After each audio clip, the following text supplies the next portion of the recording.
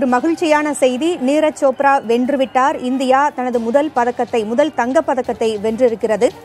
Tokyo Olympic ஈட்டி எறிதலில் India தங்கத்தை வென்றிருக்கிறது. ஆறு பதக்கங்கள் வென்றிருந்த நிலையில் தற்பொழுது இந்தியா தங்கப் பதக்கத்தை வென்று ஏழு பதக்கங்கள் என்ற நிலையை எட்டியிருக்கிறது. அறுபத்து ஆறாவது இடத்தில் இருந்த இந்தியா தற்பொழுது நாற்பத்தாறாவது இடத்திற்கு முன்னேறியிருக்கிறது. எண்பத்தி ஏழு புள்ளி ஐந்து எட்டு மீட்டர் என்ற தூரத்தை நீரஜ் சோப்ரா அதிக தூரமாக எறிந்திருந்தார். அந்த தூரத்தை எந்த நாட்டு வீரரும் எட்டவில்லை என்று பார்த்திருந்தோம். ஆறு சுற்றுகள் முடிவடைந்த நிலையில் நீரஜ் சோப்ரா வெற்றியடைந்திருக்கிறார் இந்தியா தங்கப் பதக்கத்தை வென்றிருக்கிறது. தங்கம் வென்று சாதனை படைத்திருக்கிறார் நீரஜ் சோப்ரா. ஹரியானா மாநிலத்தைச் சேர்ந்த நீரஜ் சோப்ரா தங்க மகனாக தற்பொழுது வாகை சூடுகிறார். ஒலிம்பிக் தடகளத்தில் சுதந்திர இந்தியா முதல் தங்கப் பதக்கத்தை வென்று சாதித்திருக்கிறது.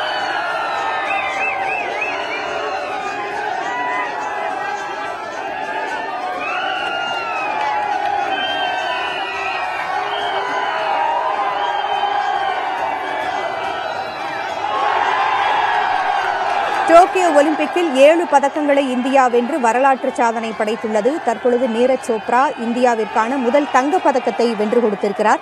நமது செய்தி அறையில் செய்தியாளர் ஹேமா இணைந்திருக்கிறார். ஹேமா இந்த மகிழ்ச்சியான தருணத்தில் கூடுதல் விவரங்கள் என்ன? ரொம்ப ரொம்ப ஒரு மகிழ்ச்சியான தருணம்னே சொல்லலாம். முதல் ப தங்க பதக்கத்தை வென்றிருக்கோம். அதிலும் தடகளத்தில் முதல் பதக்கம் அதுவும் தங்க பதக்கமாக வென்றிருக்கோம். நீரஜ் சோப்ரா நம்மளை கைவிடல அப்படின்னே சொல்லலாம். கிட்டத்தட்ட ஒரு ஆறு ரவுண்ட்ஸில் அதிக ஹையஸ்ட் ஆவரேஜ் மெயின்டைன் பண்ணிட்டு இருக்காரு கிட்டத்தட்ட எண்பத்தி ஏழு புள்ளி ஐம்பத்தி எட்டு அவர் ஃபர்ஸ்ட் ரவுண்டில் ரெண்டாவது ரவுண்டில் போட்ட அந்த த்ரோ தான் பெஸ்ட் ஆவரேஜாக இருக்குது அதற்கு அடுத்தபடியாக செக் குடியரசு மூன்றாவதும் செக் குடியரசு நான்காவது இடத்துல ஜெர்மனி ஐந்தாவது இடத்துல பாகிஸ்தான் இருக்காங்க. நீரஜ் சோப்ரா ஒரு பெரிய ஹிஸ்டரியே படைச்சிருக்காருன்னே சொல்கிறான் இங்கே நம்மளோட செய்தி அறையிலையும் அதோட உற்சாகம் வந்து கொஞ்சம் கூட குறையில பூங்குழலி ரொம்ப ரொம்ப ஒரு சந்தோஷமான ஒரு கொண்டாட்டங்கள் இங்கே போயிட்டு இருக்கு. நீங்கள் காட்சிகள்லையும் பார்க்கலாம்.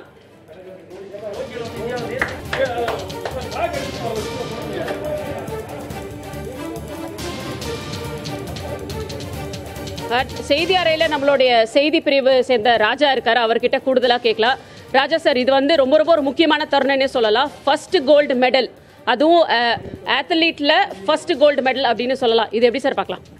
மிகச்சிறந்த வெற்றியை இந்தியா ஈட்டியிருக்கிறது. ஒரு சரித்திர சாதனையை இந்தியா ஈட்டியிருக்கிறது. மிகவும் ஒரு மகிழ்ச்சிகரமான ஒரு சூழலில் இருந்து கொண்டு இருக்கிறோம் ஹரியானா மாநிலத்தில் ஒரு எளிய குடும்பத்தில் பிறந்து ஒரு விவசாய குடும்பத்தில் பிறந்து இந்த டோக்கியோ ஒலிம்பிக்கில் இந்தியாவுக்காக முதல் தங்கப் பதக்கத்தை வென்று கொடுத்திருக்கிறார் நீரஜ் சோப்ரா.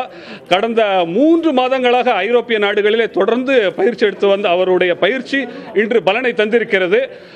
எண்பத்தி ஏழு புள்ளி ஐந்து எட்டு மீட்டர் தூரம் அளவு வீசி அவர் தங்கத்தை வென்றிருக்கிறார். டோக்கியோ டோக்கியோவின் சீதோஷண நிலை அதை பார்க்க வேண்டும். டோக்கியோவின் சீதோஷண நிலைக்கு ஏற்ப அந்த ஈட்டியை வீசி எறிவது அத்தனை எளிதல்ல. அதை அ- அந்த இக்கட்டான சூழ்நிலைகளை கலந்து தற்போது தங்கத்தை வென்றிருப்பதை அந்த மகிழ்ச்சியான தருணத்தை உணர்ந்து கொண்டிருக்கிறோம் ஏமா. மிக சிறப்பான ஒரு வெற்றி ஒரு நூற்றாண்டு கால தடகள வரலாற்றிலே இந்தியா முதல் தங்கத்தை பெற்றிருக்கிறது சுதந்திர இந்தியா பெற்றிருக்கிறது. கொல்கத்தாவை சேர்ந்த பிரிட்டிஷ் வம்சாவளியைச் சேர்ந்த நார்மன் பிரிச்சர் ஆயிரத்தி தொள்ளாயிரத்திலே வந்து பாரிஸிலே நடைபெற்ற ஒலிம்பிக் போட்டியிலே வந்து இரண்டு பதக்கங்களை இருநூறு மீட்டர் ஓட்டத்திலே தடைதாண்டு ஓட்டம் மற்றும் இருநூறு மீட்டர் ஓட்டத்திலே வந்து பதக்கங்களை இந்தியாவுக்கு வெள்ளி பதக்கத்தை வென்று கொடுத்திருக்கிறார். சுதந்திர இந்தியா தனது முதல் தங்க பதக்கத்தை இன்று அனுபவித்துக் கொண்டிருக்கின்றது. அந்த மகிழ்ச்சியை நாம் தேசமே கொண்டாடி கொண்டிருக்கின்ற ஒரு சூழலை பார்க்கின்ற ஹேமா. ராஜா சார் இப்போ நீங்கள் சொன்ன மாதிரி ஆத்லீட்ஸில் நம்ம தான் ஃபர்ஸ்ட் மெடல் அதுவும் கோல்டு மெடலாக வாங்கியிருக்கோம். லேட்டாக வாங்கினாலும் லேட்டஸ்ட்டாக வாங்கணும்னு சொல்கிற மாதிரி கோல்டு டேரெக்டாக அடிச்சிருக்கோம். இப்போ ஜாவ்லினில் இப்போ நீங்கள் மேட்சஸ் பார்த்தோம் நம்ம. சிக்ஸ் ரவுண்ட்ஸ் வந்து ரொம்ப டஃப் ரவுண்டாக தான் இருந்தது. இதுக்கு முன்னாடி இதில் ரெக்கார்ட் பிரேக் பண்ண பிளேயர் அண்ட் இப்போ இந்த மேட்சை பற்றி நீங்கள் சொல்லுங்கள் சார் இந்த வெற்றியை நீரஜ் சோப்ரா மிக எளிதாக பெற்றுவிட்டார் என்று சொல்ல முடியாது. ஒரு மிக கடினமான மூன்று மாத காலம் ஐரோப்பிய நாடுகளிலே தொடர்ந்து அவர் தொடர்ந்து போட்டிகளிலே பண்டு- பங்கேற்று வந்தார்.